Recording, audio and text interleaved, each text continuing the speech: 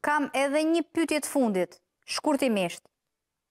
Ju jeni gazetar profesionist i specializuar në investigimin për çështjet e sigurisë kombëtare.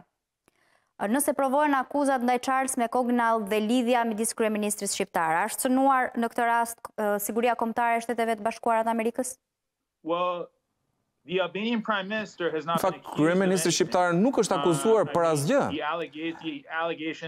dhe akuzat përkundër Charles McGonigalit thjesht përfshijnë kryeministrin shqiptar, por nuk do të thotë që kryeministri Rama ka kryer ndonjë gabim.